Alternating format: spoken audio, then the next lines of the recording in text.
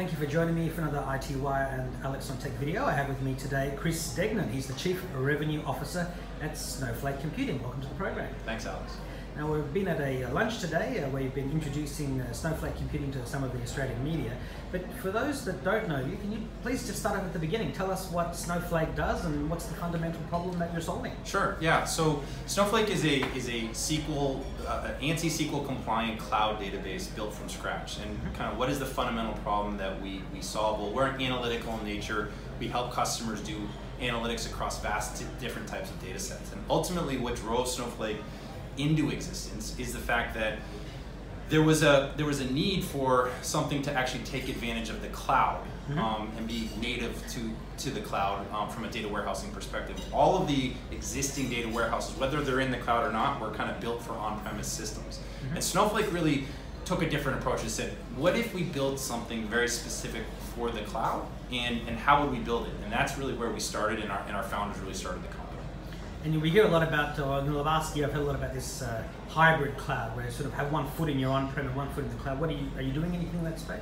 Yeah, it's, it's quite interesting. Is is um, you know our founders? And I was the first salesperson at Snowflake. I, I, I was selling Snowflake before there was actually any customers. Mm-hmm. And uh, you know, of course, I'm talking to a hundreds of different customers every week or every month, mm-hmm. and um, of course, when I first started talking to some of these large enterprises, that was the first question they would ask me is, hey, when are you going to be supporting a private cloud so that we can do private and public? Hmm. And our founders were very fundamentally against that. You know, they, they said, hey, we are only going to build a product for the cloud.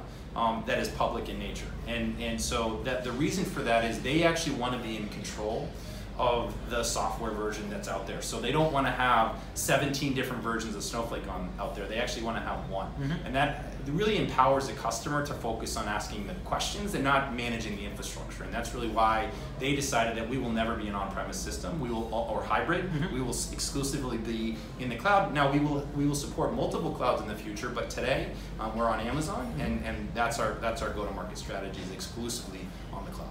And the name Snowflake, it's very memorable. So what's the brief story about uh, how the company was named Snowflake? Sure. So our, so I would consider one of our venture capitalists, uh, one of our founders, um, Mike Speiser from Sutter Hill Ventures. Mm-hmm. Um, he he uh, he recruited Benoit Dageville out, out of uh, out of Oracle, and both their, their kids were on ski teams up in Squaw Valley, up in, in Northern California. Mm-hmm. And they, they felt as though, okay, snow comes yep. from the clouds. Mm-hmm. Um, there's a loose affiliation to snowflake schema. Um, and and they just they, they, they, ultimately said, hey, you know what? This makes it easy for, for, for customers to remember, and that's ultimately what drove drove this Snowflake name. Sure. Now you've also got uh, the traditional database vendors, and you've got people who say they compete in your space, which is you know the big Amazon Redshift, uh, Microsoft SQL, Azure Data Warehouse, Google BigQuery, and then you know the traditional players, the Teradata's, the Oracles, the Verticas, IBM Netezza's, and also the Hadoop installation. So. Sure you know, you already mentioned a little bit about what differentiates you, but what else really, you know, for the people watching, what crystallizes how you're different from all of those other guys? Sure. Well, I think it starts, it's really the fundamental differentiation for us and it comes down to architecture. If you look at why, why we really focused on the cloud and, and built for the cloud, we built a brand new architecture. No database has actually been built from scratch in over 30 years. Mm-hmm. And, and our founders said, hey, look, they looked at the cloud as this appliance with theoretical unlimited resources. And any traditional enterprise data warehouse or database product has never been built with the cloud in mind. Mm-hmm. Um, so they really had the luxury, quite frankly, that where you wouldn't be able to have that luxury if you had an existing customer base, whether you're at Oracle or Teradata or whomever, mm-hmm. you wouldn't be able to think that way. And these guys really did because we had no customers, right? And so they decided to build a database from scratch and say, hey, we're going to build this brand new architecture that we call the multi-clustered shared data architecture and allow and effectively what that allows us to do is have multiple uh, compute clusters access the same data at the same time and, and, from a business standpoint the ultimate problem that we solve is we solve the ability for thousands of users to access the same data at the same time and if you mm-hmm. actually go into talking to uh, you know, folks with large enterprise data warehouses, concurrency is probably the number one pain point that, that the customers have in the enterprise data warehousing space. And Snowflake really solves that problem almost better than any other database has ever solved that, including the on-premise systems. And I would say Teradata was, you know, 10, 15 years ago, was the the Ferrari of the industry, mm-hmm. and they're they haven't been able to innovate like, like we have, and that's really kind of where Snowflake is, is really shining. Is in large enterprises, uh, they have the ability to scale concurrency. On top of that, not only is it you know traditional data sets that customers actually are wanting to manage, they're also wanting to you know manage Internet of Things or, or what we call semi-structured data, Yeah. or, or formats of JSON, Avro, XML. Traditional databases aren't built to actually natively handle that. We Snowflake is, and we built that into our product. So whether you're a small ad tech firm that has tons of uh, clickstream data that you're trying to do analytics on, whether you're a large enterprise that has high concurrency workloads, Snowflake you know has that option, that, that solution for you. And what's great about that is you could be a, a small medium business that that is wants to spend you know $200 a month. You could be a large enterprise who, who would want to spend a million dollars a month Hmm. or has the budget to do that with Snowflake. We really empower our customers to do that um, because because of our architecture, because of our elasticity, we, we charge our customers by the second um, of compute time and monthly storage. So customers, you know, we have customers that literally spin up, you know, 2,000 servers for five to 10 hours to load 100 terabytes of data, and they spin that back down, and they're not paying for the compute when they're not using it. And I think that's really um, unique to Snowflake, and really no other vendor can do what we can do. You talk about separating compute from storage, which sounds a bit like separating church from state. It's even the same initials. So that's an example of that, right? Yeah, it's an example of that, and, and what I would say is even more so is that we we really pioneered that. I think Mhm. if you look if you look at you know prior to Snowflake's arrival on the marketplace, there was no vendor out there that was actually talking about separation of storage and compute. They actually wanted to do the reverse. They Mm. actually thought that storage and compute needed to be next to each other, and and Snowflake really pioneered that that architecture. And now you see you know everyone from Microsoft to Amazon to um, Google to, to every you know every major database vendor saying, hey, we separate storage from compute. Well, you know the good news is they can mark they can try to copy our marketing, Mhm. but they can't copy our architecture. And I think that's really been a huge value prop that we have to this day. So what are the types of companies that are employing your services? And if you can name them, who, who are some of them globally and in Australia? Yeah, so Snowflake really started off in the in the ad tech world, um, and we've done a really good job. You can go to our website at, at snowflake.net or snowflakecomputing.com, um, and you can go check, you, you know, read about some of our customer base. And I think if you kind of look at the, the nature of Snowflake, Snowflake has over a thousand customers today. Um, we have five global deployments. We have deployments, uh, you know, a deployment here in, in Sydney, Australia. We have a deployment, it's multiple deployments in the U.S. and, and in Europe, and we'll continue our expansion. Um, if you look at where our, our, our nexus of the beginning of Snowflake, of, of where our customer base started, it started in the ad tech industry and the online gaming industry. So Mhm. companies like White Ops and companies like uh, Kixeye, which companies you've never heard of, um, you know, have massive data sets and they have they're collecting you know tons of uh, like what we said semi-structured data and they need to provide fa- fast analytics against that data set so we started there and now if you kind of look you know fast forward since over the past four years since i've started Mhm. we've not only do we have small companies like that, that you know that are in the ad tech space but we have traditional large enterprises folks like office depot folks like um, uh, uh, Capital One, fo- folks like Sony Television. So it kind of ranges across across the gamut. And then here here in Australia, why are we in Australia in the Hmm. first place? Is we have a we have a customer called Blackboard, which which is in the education industry. And what's what's super important for for those customers is data sovereignty, is making sure that student data doesn't leave you know the country of Australia. And I think that uh, for us deploying in Australia really became a necessity for our, our customer and our partner Blackboard, and that's really what drove us to deploy here. So data sovereignty becomes a big deal, um, and, and that's why we're in Germany, that's why we're in Dublin, and that's Mhm. why you'll, you'll see us go in the future into Japan and Singapore and, and South America. You'll see that over the, the next 12 to 24 months for Snowflake. And one of the journalists at today's event was talking about how smaller companies can use your services too.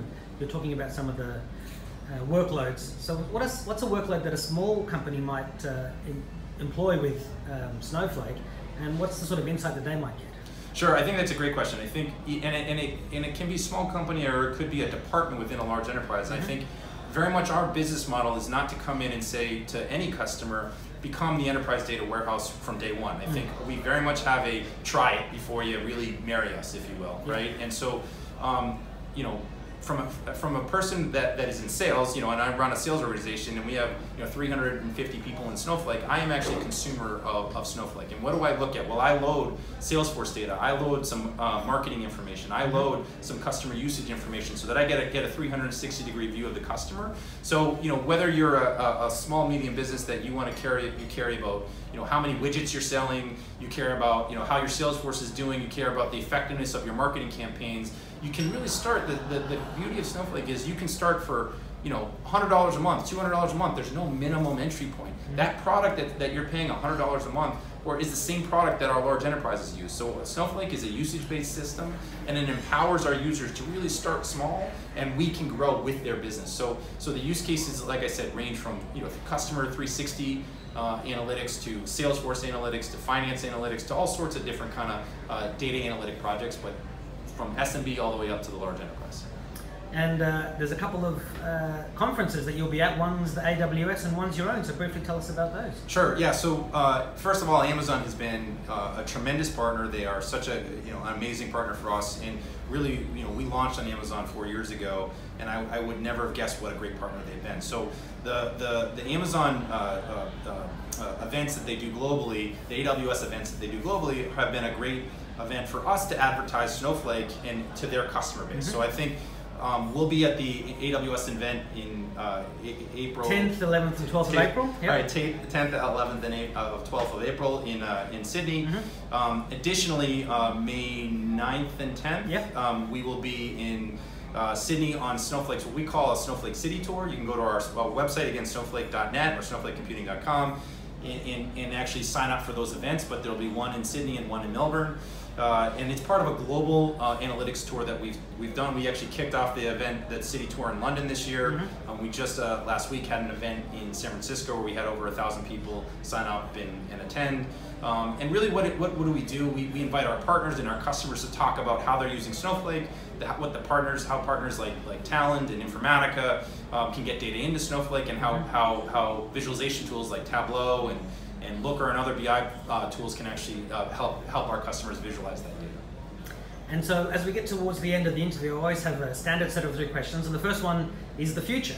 Where do you see, how do you see the market evolving and Snowflake evolving over the next decade? Well, you know, outside of Snowflake, I think what, what's what's amazing, you know, as they say, timing can be everything. Mm-hmm. Um, what's happening in the industry, I, we couldn't be luckier, is that we see this tectonic shift in the marketplace from on-premise you know data centers to moving away from those to the cloud. Mm-hmm. And so when customers move from on-premise systems to the cloud, they don't want to take their existing Oracle or Teradata system and just throw it in the cloud. They mm-hmm. actually want to think about how, how can they do it more effectively, more cost effectively, mm-hmm. and provide more business value to their customers or their BI users. And so um, that that shift is is really we've seen an acceleration of that shift across both SMB customers and large enterprises um, over the past 12 to 18 months. And and so where we see this going is we think that the annual market spend for what Snowflake does is in roughly about the fifty billion dollar market, mm-hmm. um, or will be over the next five to seven years. Yep. Um, so, so we think that that, it, that Snowflake is really positioned very well to be the number one cloud data warehouse on the market, and really,